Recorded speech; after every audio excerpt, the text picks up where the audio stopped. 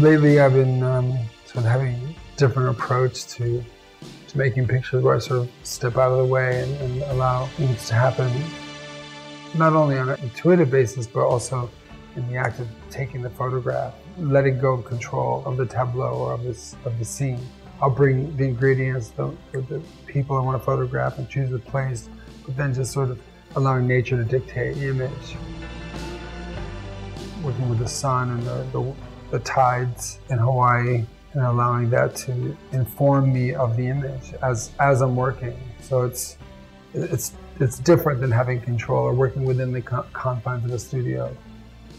And it's, you know, I didn't think I would be having great kind of break mental breakthroughs, creative breakthroughs at this this time in my life, but that's what happened. So it was a big surprise to me, new way of working.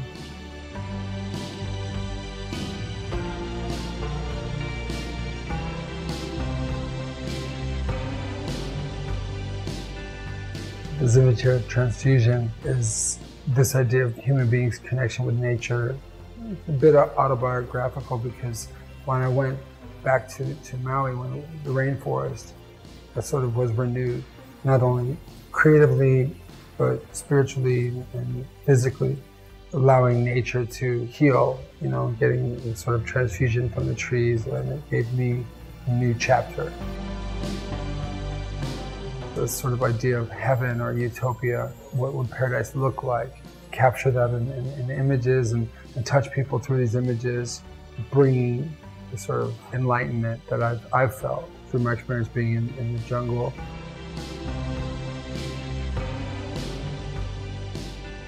Being really close to nature, having that solitude, contemplation, and introspection that's allowed me to create from a different place. And I, I really want to share that. You know, it's a joyful feeling, and it's it's a profound feeling, and it's something I just wanted to you know share with other people.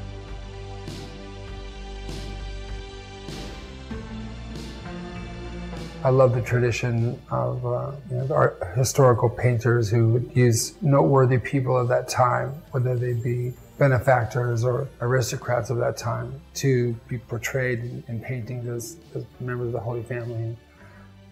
Taking that idea to today, using you know, someone like Kim Kardashian as Mary Magdalene, because there's so much commentary on her.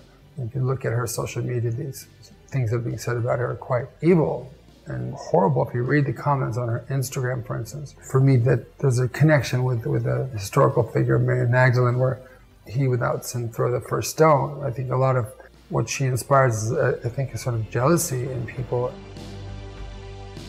Using people that make up our world today in a, in a celebrated way, but putting them in our historical context for me is, is, is, is really interesting um, and exciting for me to, to see.